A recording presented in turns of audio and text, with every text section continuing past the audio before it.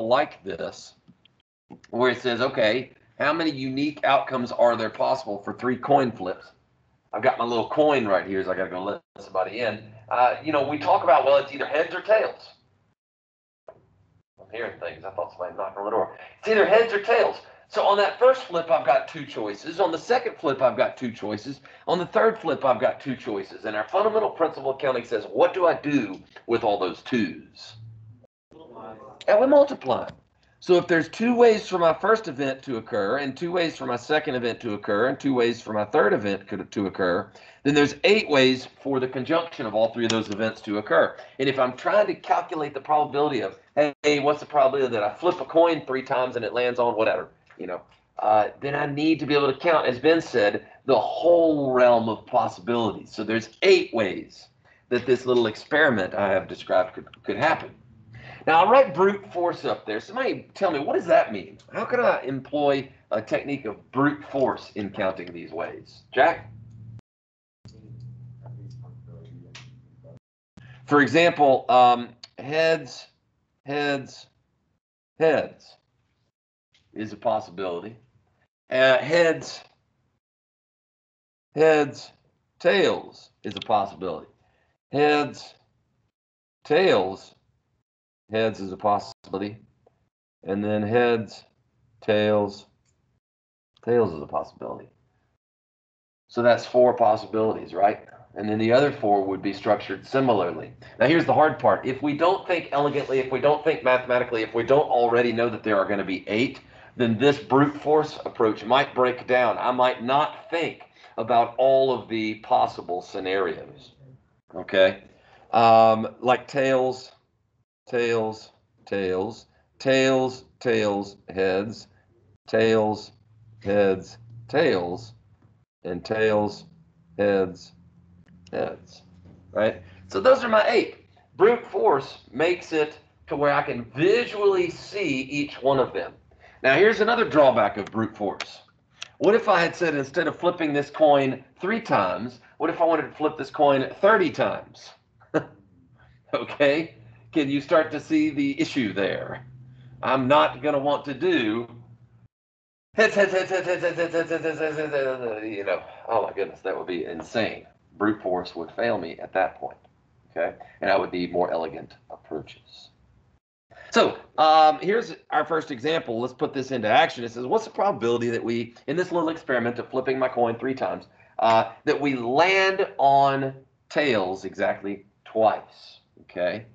So of this probability ratio, I already know the denominator is 8, okay? We already know the denominator is 8 because with three flips of the coin, uh, there are 2 times 2 times 2 possible outcomes. In other words, eight possible outcomes. Now, as far as the numerator goes, let's think about this. And I know I've got my brute force up there, and I know I could go ahead and say, well, which all of these have exactly two t's in them? And and there we go, we get our answer, right? But but pretend like brute force isn't there, because as we just illustrated, brute force won't always be there. Okay? How can I think about a scenario like this? Well, the probability of flipping exactly two tails, without getting into the weeds here, is exactly the same as the probability of flipping exactly one what? Heads. So the way to count this might be easier to say, well, how many ways is there for me to flip exactly one heads? Well, in this scenario, you would say, oh, well, the heads could occur on the first flip. And then on the second flip. And then perhaps it could occur only on the third flip. In other words, there's three ways for it to happen. Okay. And and as you get into algebra two and you study more probability, like this is I'm just telling y'all the basics, right? There are more complicated ways. Like what would happen if you know if we had five or six coin flips and we didn't want to brute force it, how would we calculate that numerator, right? Uh, and so there's going to be these things called combinations that come into play, permutations that come into play, and you'll make use of some more tools. Right now, the only tool that we have at our disposal is the fundamental principle of counting, which says, hey, if you're trying to have the conjunction of several events, multiply the number of ways that each of those individual events could occur, and that tells you the number of ways that, that all events uh, could occur. Okay? Now, we're going to shift gears just a bit. We're going to talk about cards. Now, I don't have my deck of cards with me up here at school, but But do you guys play games at home? Do y'all ever play cards? Somebody got a favorite card game that they like to play? Which, Texas Hold'em, Jack. Liar, Liar. Ooh, I never heard of Liar, Liar. Sounds fun. Uh, anybody ever played Spoons or Egyptian Rat Screw? Anybody ever played uh, uh, Five Crowns? Okay, so there's a there's a buttload of card games, right? Uh, Slapjack. Ooh, that was one of my favorites as a kid, playing Slapjack. Uh, my dad's favorite card game. Have I told you my dad's favorite card game yet? No. He liked to play this game called 52 Card Pickup. Uh, what are you laughing at? Okay. Some of y'all probably played this game as a kid. Uh, so I would come to my dad and say, Daddy, Daddy, I want to play. I want to play. And he'd be like, All right, let's play cards. And like, Yay, Daddy wants to play cards. And so he'd be like, All right, we'll play 52 card pickup. And I'd say, Wow, okay, cool. How does that go? And he'd say, All right. And he'd take the deck of cards and he'd throw it up in the air. They'd go all over the place. He'd say, All right, pick them up. And that was the game. And I freaking hated that game. That sucked. It was no fun in, at all. Uh, but he, he would always laugh and think it was hilarious. All right. So uh, from my childhood, I have learned that how many cards are in a, a deck of cards? There are 52 cards. All right. Now that's without jokers. That's in a what's called a standard bridge deck. People used to play bridge all the time. Uh, they would have bridge clubs, uh, and you know it's it's kind of a game where there's four people at a table, and uh, um, it's similar to kind of like hearts or uh, spades. If any of your family members have ever played hearts or spades, it's that kind of game. So a bridge deck, when you see that in a problem, a standard bridge deck has 52 cards, and those 52 cards are, are split up into four suits, what we call four suits. And I might be preaching to the choir here. Like like Quentin likes to play Texas Hold'em. He knows that there are four suits in a deck. But uh, one year, I, uh, very early on in my career, I, I, assumed that everybody knew all about cards, and I started asking these probability questions. And one kid raised his hand and said, um, uh, "Coach Morgan, what is what is a face card?" And I thought, oh my goodness, I just assumed everybody knew. So I'm sorry if I'm preaching to the choir here, okay? But I'm going to tell you the basics. A deck of cards has four suits. Two of those suits are black, and two of those suits are red. The two black suits are clubs and spades. The two red suits are what? Hearts and diamonds. Okay, very good. In each suit, there are 13 what are called 13 denominations. All right. We hear that word in uh, the context of money sometimes, like in my wallet right now. Uh, I've got a 10, a 5, and a 1. Okay, those are three different denominations of bills. Or you might hear like denominations of churches, like a Baptist church or a Presbyterian church or a Catholic church or a, a, a, uh, uh, a Methodist church. These are different denominations. So, like in cards, a denomination is a different type of card. You've got ace, 2, 3, 4, 5, 6, 7, 8, 9, 10, jack, queen, and king. Those are your 13 denominations per suit. Each suit's got 13 of those cards. Okay? So, for example, there's four aces, there's four twos, there's four threes, there's four fours, uh, there's four jacks, queens, kings, so on and so forth. And each, uh, and each suit has one of those denominations. Okay? Now, an ace, depending on the game that you play, aces have different values, don't they? Uh, so, like when you're playing blackjack, how much is an ace worth in blackjack? 1 or 11. Very good. Uh, but in, in other games, it might not be worth 1 or 11. Um, you know, I, I play this game called Five Crowns, I think I mentioned, that has uh, a special deck of cards. It's got five suits. Um, but uh, jacks are worth 11, queens are worth 12, and kings are worth 13. So the, the values of these cards vary depending on like different games that we play. But in a standard bridge deck, here's how we um, characterize these cards. Okay, these are our numbered cards because I'm not being a smart aleck. They have a number on them. Okay, an ace does not have a number on it. It has a letter. It has an A on it. So a number card is two through ten. A face card is a card that has a face. It's got a person on there, a jack or a queen or a king.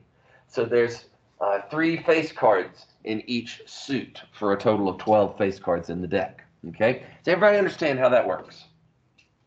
Any questions about cards whatsoever? Y'all already know all that. Some of you guys did. Well, if you learned something good. If you didn't, uh, then good too, because you've already known it. Now, um, I'm going to ask, example two is, is a little bit of a tough question. So buckle up. Example two says, what is the probability of randomly selecting a, quote, pair? Joey, what in the world's a pair? Yeah, two of the same denomination, right? Two of the same denomination. So like two jacks or two sevens or two aces or whatever. That's a pair. Okay. Now, what's the probability? So imagine I've got my deck of cards, and I really need to get my deck of cards back. I think I lent it out to another math teacher. Uh, suppose I got my deck of cards right here, and I just ran. I let Alex and say, Alex, just draw a phantom out. I say, draw two cards. He draws his two cards, and then I take my deck away, and then Alex looks at them, and he says, oh, I don't have a pair. Okay. So, so like that's the experiment where you're randomly drawing two cards uh, from this deck. I want you to start with the denominator. Okay. I want you to start with the denominator. How many possible ways is there for him to draw out just two random cards? James. Good question or good uh, good guess. That's going to start the ball rolling. 52. Paul, you want to add to that? Put your number in front of his number.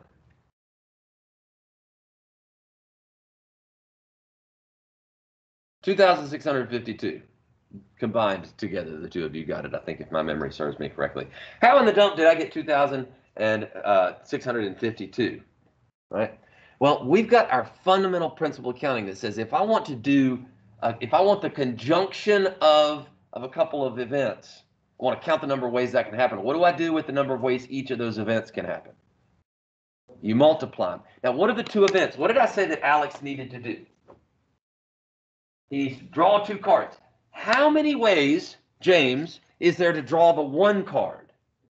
52. And how many ways, now that he has drawn his first card, Andrew, is there now to draw the second card? How many choices does he have? 51. He's got 51 choices. All right. And uh, if my memory serves me correctly, 52 times 51 is 2,652.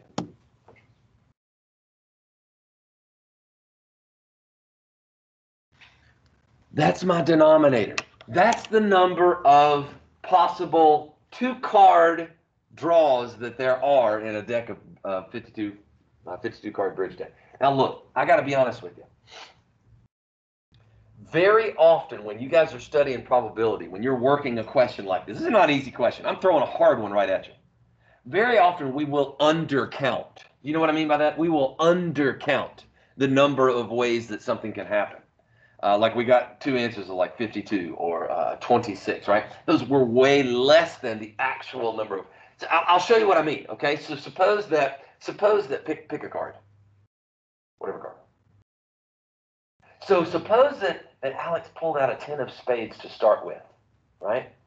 How many possible uh, two card draws are there where the first card is a 10 of spades? Go back to Andrew's answer. How many of them are there? Andrew, what number did you say that? 51. There are 51 ways that he could say, one of my cards is a 10 of spades because the other card can't be a 10 of spades, but it could be any of these other 51 cards, right? So for that one little card, there's 51 ways to do it. Okay, suppose that he doesn't draw a 10 of spades. Suppose that he draws a 9 of spades on that first draw. Now, for that 9 of spades, how many ways is there for him to have uh, two of those cards? Again, another 51. So for each of the 52 cards that he draws in the first hand, there are 51 cards that he could draw in his second hand. Okay, that hence the 52 times the 51. All right, it's the same thing as if I told you how many. Uh, let's say I'm going to give Luke a two-digit ID number, and Luke, you can you can have uh, no repeats in your two-digit ID number. Okay, now, how many options does Luke have for his first slot of that ID number? How many digits do we have in our number system? Uh, zero is allowable.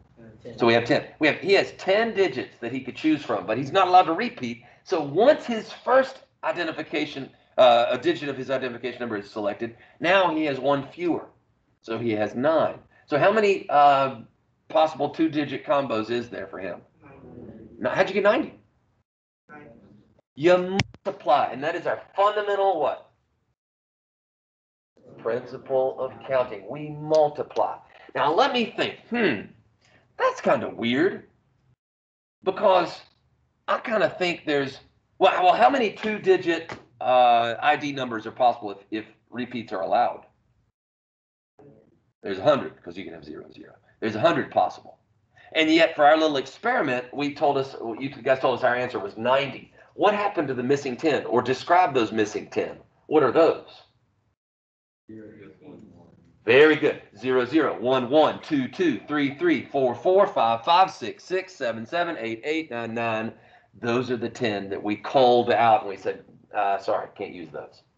All right, you see, I told you the other day, I might have told you yesterday. Did you, you see how we stink at counting? Right? I, I do. I'm saying we. Counting is hard. So what we've got to do is we've got to think about the tools at our disposal. Fundamental principle counting is a great tool. Now, let's talk about the numerator. Here's where it gets even more challenging. Okay, so here was the denominator in blue. Um, let's do the numerator here in a different color. We'll do the numerator uh, in orange. Now, a pair is where we said there is two of the same denomination. All right, so like let's use our tens as an example. There's a 10 of hearts. There's a 10 of, let me put it over here. There's a 10 of um, uh, diamonds. There's a 10 of spades and a 10 of clubs. Okay. Just with the just with the denomination of a 10, how many possible pairs are there? Could you brute force that? Think about it. Like like pick me a pair of tens. Maybe a, uh, the 10 of hearts and the 10 of diamonds. That's one. What else? Maybe the 10 of hearts and the 10 of spades. That's two. The 10 of hearts and the 10 of clubs. That's three. So 10 of hearts is, is uh, exhausted. I can't use him anymore. Uh, maybe 10 of diamonds and 10 of spades. Or 10 of diamonds and 10 of clubs. Now the diamonds are expired uh, or, or uh, exhausted. And then maybe uh, 10 of spades and 10 of clubs. There's six of them. Okay, there's six ways uh, for that to happen. Okay, six uh, uh, pairs, if you will. Okay. Now, again, you'll learn in Algebra 2 sort of the more elegant way of doing this, which I think you guys could wrap your minds around the more elegant way of doing this. Uh, how many how many tens are there in a deck? Four. There's four. So for that first uh, of the pair, there's four options. And then once you've called out a, a 10, now there are for the second card, there are three. Now, wait a minute, Coach Morgan. Four times three is 12. And yet you told me the answer is six. Well, we have to divide by two because is a 10 of hearts and a 10 of diamonds any different than a 10 of diamonds and a 10 of hearts as far as pairs go? When when when uh, uh, Quentin is playing Texas Hold'em, do those do those make a difference? The order in which he puts them in his hand? No. So we wouldn't want to count them too many times. Hence, we divide by two there. So four times three divided by two. Uh, it's tricky, I know. But suffice it to say, there's six ways that we could pair up a couple of tens. Now, are tens the only card that we could pair up? No. How many denominations are there? So 6 times 13. What is 6 times 13? 6 times 13, 78. There's 78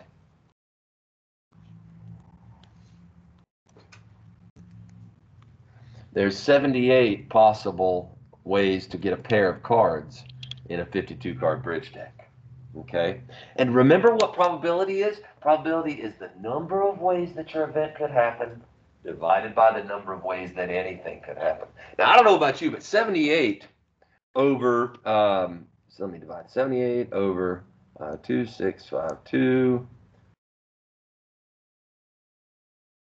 It's about 3%. Okay, uh, let me think here. I want to make sure I haven't messed something up because I feel like I have. Six times 13. There's six possible ways to do that. There's 13. Why did I get a different value in the other class? Let me see here. Do, do, do, do, do. What did I get 88 for? Y'all give me just a second. I want to I want to investigate. Who did I teach that to yesterday? I taught that to maybe was it? No, it wasn't. Them. 13 times 6. I want, oh, I'm going to kick that kid's booty. Uh, I, I asked the class yesterday and I said, hey, what's 13 times 6? And he said 88. Is 13 times 6 88?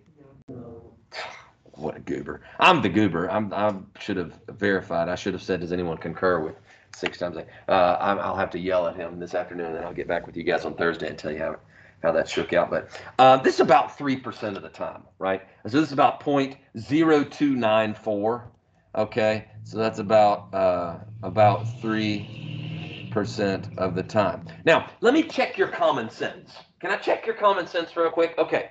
Common sense says that that occurs 3% of the time means that if I did this experiment with Alex a 100 different times, right? Say, Alex, fan it out, draw a couple cards, we record the results, shuffle them back together. Hey, Alex, draw a couple cards, record the results, shuffle them back together. If I did that a 100 times, what would the result be as far as his ability to draw out a pair of cards? Jack? Mathematically speaking, he should get a pair of cards three times. Is he guaranteed to get a pair of cards three times? No. Could he get a pair of cards every time? Yes. That means that that is possible. But is that probable? No. It is not probable because the probability is very low, relatively speaking. Okay? So it is possible, but not probable. And let's say that I ran that experiment 100 times with my man Alex up here. And let's say that of those 100 times, 99 of them, he resulted in him drawing a pair. Number one, I'd say, let's. I'm, you're a pretty lucky guy. Next time I'm playing cards, let's get together and you can be my partner. All right. But but how could I get it to where the number worked itself to three percent? What would I need to do in order to make those numbers work? Think common sense. I do my experiment 100 times with him.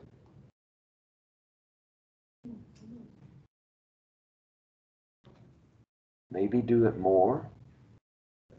Maybe do it a thousand times, or a million times, or a billion times.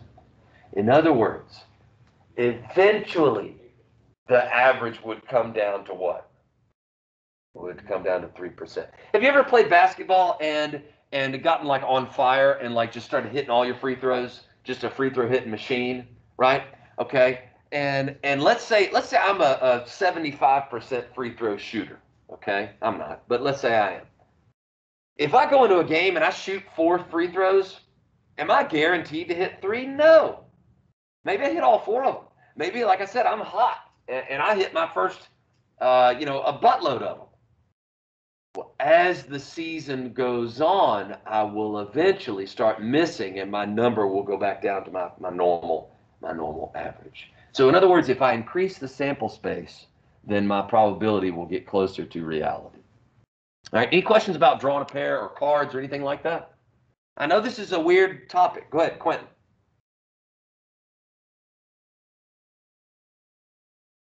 Uh, because a 10 of hearts and a 10 of diamonds is no different than a 10 of diamonds and a 10 of hearts. So like these two right here aren't unique, and so I don't want to count them twice.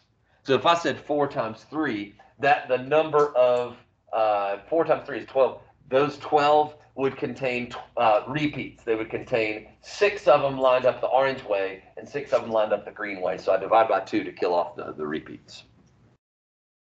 All right. Uh, and again, you don't have to worry about that kind of thought process until uh, until algebra two. I'm still sort of, you know, we're still operating in brute force mode, if you will. Now, um, I, we've talked about tools, and I want to introduce another tool to you as far as uh, what helps us count. You've got your fundamental principle of counting, yes, okay, but we can also have a visual tool to help us count things. And I'm a visual guy. You guys know this at this point. Hey, Harlem. And, and so what I would do is, we're about to start rolling dice, Harlem. You you want to be a dice roller for a moment? All right, show me show me some skills here. We're gonna have Harlem roll right up there against the wall. Harlem's gonna roll with my pair of dice. What'd you roll? A nine. Beautiful. Thank you. So well, let's figure out what how many ways would there be for somebody to roll a couple of dice and to get a nine. Okay. So right off the top of your head, he rolled it. Would you roll a six and a three? So that's one way. Could you come up with another way to get a nine? Paul. Four and a five. Good. Jack.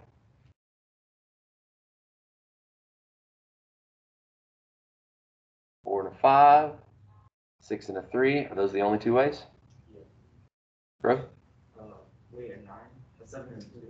So there's not a seven on my die. So so we've we've outlined it, but um, I, I'm going to show you a picture. You undercounted. Did I tell you that was the warning that you would undercount?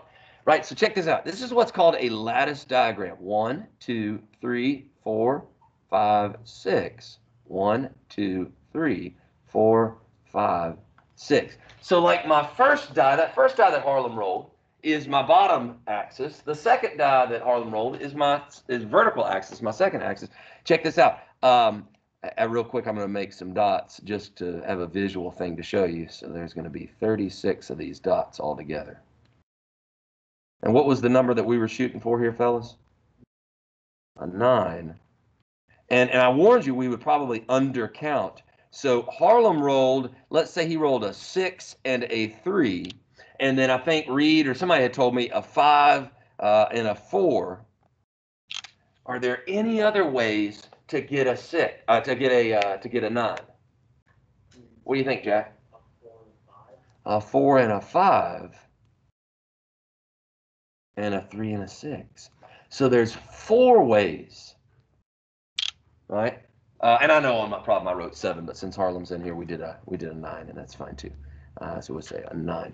So there's four ways for us to. Now I've had students argue with me before, say, "Dang, coach, uh, a rolling a five and a four is no different than a rolling a four and a five. Harlem, can you read what's on that die on the six space? Those dice came from a casino. What they do on a casino die is they stamp a serial number on it. Uh, William, we're not ready for class yet, bub. uh, they stamp a serial number on it. So this is a very different five and four is very different than four and five. All right. So your probability, what is that going to be? Four over 36 is one ninth. Is that right? So if Harlem did his experiment nine times, on the average, he would hit. Why is it lagging so bad? Uh, on the average, he would hit. Uh, he would roll his nine one out of nine times. Why don't you do the probability of, a, of rolling a seven? That's what I had written up there originally. Why don't you do the probability of rolling a seven, and we'll see what we get there. You ever learned any of this? You might next year. Who you taking next year? You don't know. Maybe Coach Dollar or maybe Coach Gray. One of those two, I would imagine. Y'all might do a little bit of probability. Play a little cards. I'll see you, man. How many ways is there to roll a seven? Have you looked at your picture yet? Your lattice diagram? Seven, by the way, is the most common sum when you're rolling two dice.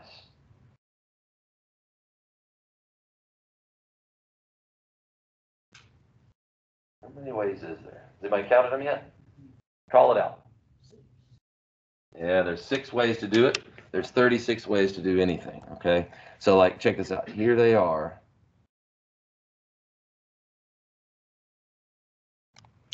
A one and a six, a two and a five, a three and a four, a four and a three, a five and a two, a six and a one. So there's six ways to do my event.